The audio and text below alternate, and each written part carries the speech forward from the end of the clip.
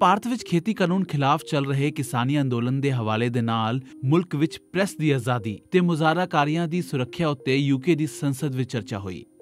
ਇਹ ਚਰਚਾ ਇੱਕ ਭਾਰਤੀ ਮੂਲ ਦੇ ਵਿਅਕਤੀ ਗੁਰਚਰਨ ਸਿੰਘ ਵੱਲੋਂ ਪਾਈ ਈ ਪਟੀਸ਼ਨ ਦੇ ਆਧਾਰ ਤੇ ਕੀਤੀ ਗਈ, ਜਿਸ ਵਿੱਚ ਭਾਵੇਂ ਭਾਰਤੀ ਸੰਸਦ ਵੱਲੋਂ ਪਾਸ ਕੀਤੇ ਕਾਨੂੰਨਾਂ ਦੇ ਸਹੀ ਜਾਂ ਗਲਤ ਹੋਣ ਬਾਰੇ ਗੱਲ ਤਾਂ ਨਹੀਂ ਹੋਈ, ਪਰ ਕਿਸਾਨ ਅੰਦੋਲਨ ਦੌਰਾਨ ਕਿਸਾਨਾਂ ਉੱਤੇ ਹੋਈਆਂ ਪਾਣੀ ਦੀਆਂ ਬੁਛਾਣਾ ਅਤੇ ਅਥਰੂ ਗੈਸ ਦੇ ਗੋਲਿਆਂ ਦੀ ਵਰਤੋਂ ਉੱਤੇ ਚਿੰਤਾ ਦਾ ਪ੍ਰਗਟਾਵਾ ਕੀਤਾ ਗਿਆ। Move then to Scotland and Martin Day to move the motion. Martin Day.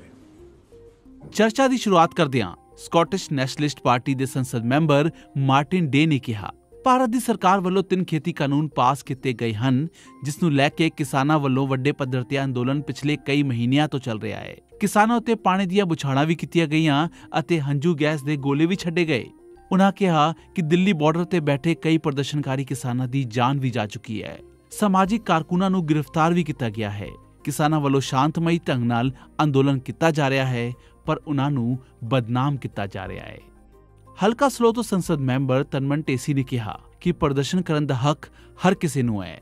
ਕਈ ਕਿਸਾਨ ਅੰਦੋਲਨ ਕਰਦੇ ਹੋਏ ਆਪਣੀ ਜਾਨ ਗਵਾ ਚੁੱਕੇ ਨੇ। ਦਿੱਲੀ ਦੇ ਬਾਰਡਰਾਂ ਤੇ ਬੱਚੇ, ਔਰਤਾਂ ਤੇ ਬਜ਼ੁਰਗ ਵੀ ਇਸ ਪ੍ਰਦਰਸ਼ਨ ਦਾ ਹਿੱਸਾ ਹਨ। ਕਈ ਪੱਤਰਕਾਰਾਂ ਨੂੰ ਵੀ ਗ੍ਰਿਫਤਾਰ ਕੀਤਾ ਗਿਆ ਹੈ ਤੇ ਸਮਾਜਿਕ ਕਾਰਕੁਨਾਂ ਤੇ ਵੀ ਤਸ਼ੱਦਦ ਢਾਏ ਜਾ ਰਹੇ ਹਨ।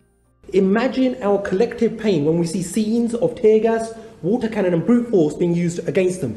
When we see them herded into the protest sites like animals with metal barricades, barbed wire, and deadly steel spikes installed in the road, as if it was some sort of international border and not the outskirts of the capital city. The millions of protesters are from across India and different faiths. And yet, because a significant number of them are Sikhs, they have been singled out and branded as separatists and terrorists by unscrupulous elements of the mainstream Indian media. ਇੱਕ ਹੋਰ MP journey carbon ਨੇ ਵੀ ਚਰਚਾ ਵਿੱਚ ਹਿੱਸਾ ਲੈਂਦੇ ਹੋਏ ਮੁਜ਼ਾਹਰਾਕਾਰੀ ਕਿਸਾਨਾਂ ਬਾਰੇ ਭਾਰਤ ਸਰਕਾਰ ਦੇ ਰਵੱਈਏ ਤੇ ਸਵਾਲ ਚੁੱਕੇ ਉਹਨਾਂ ਨੇ ਪੱਤਰਕਾਰਾਂ ਦੀ ਸੁਰੱਖਿਆ ਬਾਰੇ ਵੀ ਚਿੰਤਾ ਜ਼ਾਹਿਰ ਕੀਤੀ The nature of the way in which the protesters, the strikers have been attacked in Delhi is unprecedented, but also unprecedented has been the reaction of the Indian government towards the way in which the media respond. Internet access has been closed down. Media access has been prevented. Mobile phone access has been limited.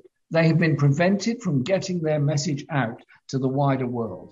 ਭਾਰਤੀ ਮੂਲ ਦੇ ਇੱਕ ਹੋਰ MP Virinder Sharma ਨੇ ਕਿਹਾ ਕਿ ਉਹ ਭਾਰਤ ਸਰਕਾਰ ਵੱਲੋਂ ਕਿਸਾਨਾਂ ਤੇ ਸੁਰੱਖਿਆ ਬਲਾਂ ਦੀ ਵਰਤੋਂ ਕਰਨ ਦੀ ਨਿੰਦਾ ਕਰਦੇ ਹਨ ਸ਼ਾਂਤਮਈ ਢੰਗ ਨਾਲ ਪ੍ਰਦਰਸ਼ਨ ਕਰਨ ਦਾ ਹੱਕ ਸਾਰਿਆਂ ਨੂੰ ਹੈ ਕਿਸਾਨ ਭਾਰਤ ਵਿੱਚ ਸ਼ਾਂਤਮਈ ਢੰਗ ਨਾਲ ਪ੍ਰਦਰਸ਼ਨ ਕਰ ਰਹੇ ਹਨ ਤੇ ਦੋਹਾਂ ਪਾਸੇ ਸਹਿਮਤੀ ਬਣਨੀ ਚਾਹੀਦੀ ਹੈ both sides need to step back, Mr. Chairman. Both sides need to recognize the need to come to an agreement.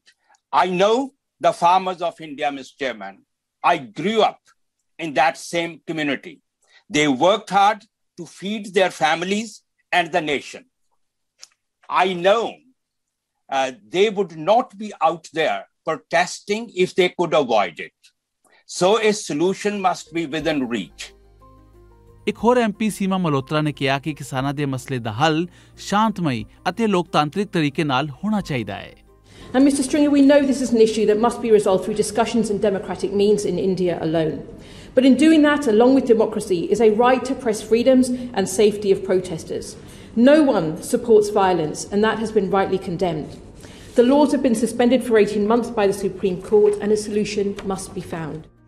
UK the parliament ਵਿੱਚ ਇਸ ਮੁੱਦੇ ਤੇ ਹੋਈ ਚਰਚਾ ਬਾਰੇ ਭਾਰਤੀ ਹਾਈ ਕਮਿਸ਼ਨ ਨੇ ਵੀ ਆਪਣਾ ਪ੍ਰਤੀਕਰਮ ਦਿੱਤਾ ਉਨ੍ਹਾਂ ਕਿਹਾ ਕਿ ਯੂਕੇ ਦੀ ਸੰਸਦ ਵਿੱਚ ਸੰਸਦ ਮੈਂਬਰਾਂ ਵਿਚਾਲੇ ਹੋਈ ਕਿਸਾਨ ਅੰਦੋਲਨ ਬਾਰੇ ਚਰਚਾ ਇੱਕ ਪਾਸੜ ਹੈ।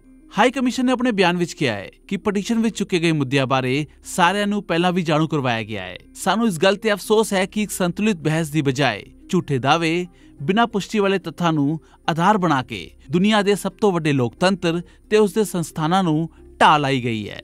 ਇੱਕ ਵਾਰ ਫਿਰ ਚਿੰਤਾ ਦੀ ਗੱਲ ਹੈ ਕਿ ਬਰਤਾਨਵੀ ਭਾਰਤੀਆਂ ਨੂੰ ਗੁੰਮਰਾਹ ਕਰਨ ਲਈ ਟਿੱਪਣੀਆਂ ਕੀਤੀਆਂ ਗਈਆਂ ਹਨ। ਭਾਰਤ ਵਿੱਚ ਘੱਟ ਗਿਣਤੀਆਂ ਨਾਲ ਵਤੀਰੇ ਬਾਰੇ ਸ਼ੱਕ ਪੈਦਾ ਕੀਤਾ ਗਿਆ ਹੈ। ਕਸ਼ਮੀਰ ਵਿੱਚ ਮਨੁੱਖੀ ਅਧਿਕਾਰਾਂ ਦੀ ਉਲੰਘਣਾ ਬਾਰੇ ਇਲਜ਼ਾਮ ਲਗਾਇਆ ਗਿਆ ਹੈ। ਬਰਤਾਨੀਆ ਸਣੇ ਵਿਦੇਸ਼ ਮੀਡੀਆ ਭਾਰਤ ਵਿੱਚ ਮੌਜੂਦ ਹੈ ਅਤੇ ਉਹ ਇਹ ਸਭ ਦੇਖ ਰਹੀ ਹੈ ਕਿ ਇਸ ਬਾਰੇ ਚਰਚਾ ਹੋ ਰਹੀ ਹੈ। ਇਸ ਤਰ੍ਹਾਂ ਭਾਰਤ ਵਿੱਚ ਮੀਡੀਆ ਦੀ ਸੁਤੰਤਰਤਾ ਦੀ ਘਾਟ ਦਾ ਤਾਂ ਸਵਾਲ ਹੀ ਨਹੀਂ ਪੈਦਾ ਹੁੰਦਾ। ਭਾਰਤੀ ਹਾਈ ਕਮਿਸ਼ਨ ਸੰਸਦ ਵਿੱਚ ਕਿਸੇ ਸੀਮਤ ਸਮੂਹ ਵਿਚਾਲੇ ਹੋਈ ਅੰਦਰੂਨੀ ਚਰਚਾ ਤੇ ਟਿੱਪਣੀ ਕਰਨ ਤੋਂ ਪਰਹੇਜ਼ ਕਰਦਾ ਹੈ। ਹਾਲਾਂਕਿ, ਜਦੋਂ ਕਿਸੇ ਵੱਲੋਂ ਭਾਰਤ ਦੀ ਅਖੰਡਤਾ ਨੂੰ ਢਾਹ ਲਗਾਈ ਜਾਂਦੀ ਹੈ, ਬੇਸ਼ੱਕ ਉਹ ਭਾਰਤ ਨਾਲ ਦੋਸਤੀ, ਪਿਆਰ ਦੇ ਦਾਅਵੇ ਵੀ ਕਰਦਾ ਹੋਏ। ਉੱਤੇ ਗਲਤਫਹਿਮੀ ਦੂਰ ਕਰਨ ਦੀ ਲੋੜ ਹੈ।